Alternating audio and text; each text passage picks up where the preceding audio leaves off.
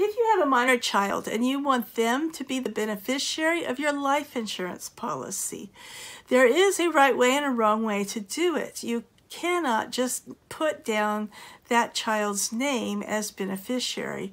But if you didn't know this and you did put them down as the beneficiary, there is a good chance that the insurance company will simply require the natural parent who survives to get a guardianship set up.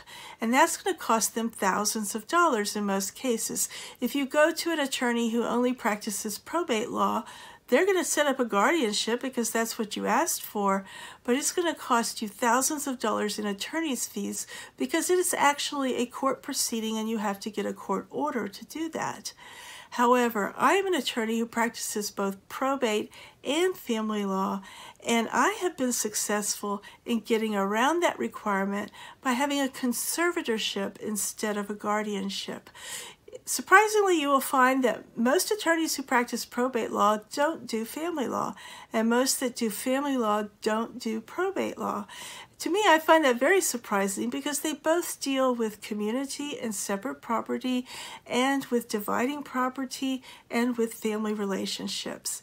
And I've done both family law and probate law in San Antonio, Texas since 1987.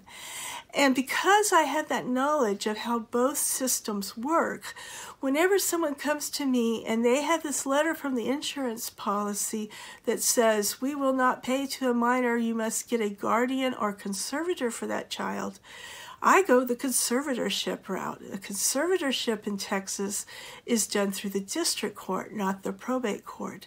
And if you can find a divorce decree between the parents and one of them's already been named managing conservator or possessory conservator of the child, then you're home free. It just takes a few dollars to get a certified copy of that versus a few thousand dollars to get a guardianship set up.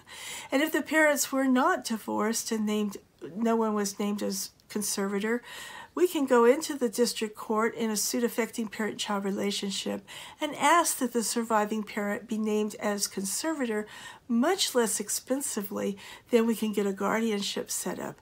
A guardianship requires a bond and annual reporting to the court. A conservatorship does not. If you like this information and want to learn more, then please like this and subscribe to my channel.